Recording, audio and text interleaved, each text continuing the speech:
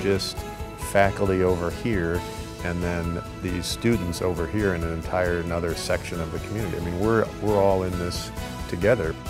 Can we say the community here is really close-knit? Because it's such a small school and it's relatively new, everyone makes friends really quickly and it's easier to make your own study groups because you're closer to the people.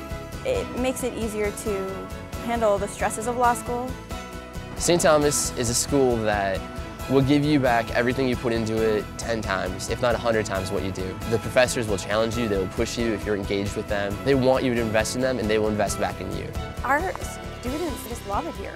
Based on, I think it's 174 law schools around the country. We've been ranked for five years in the top four for quality of life for students. And I think that kind of says it right there. I see the professors really encouraging the students to determine what the mission means to them. St. Thomas is dedicated to developing you as a professional, as a person of character and judgment, not just a person with skills and knowledge, but a person whose character and judgment is really brought to bear on the profession. We have a mission that's not simply a plaque on the wall. It's something that we are always, each of us in our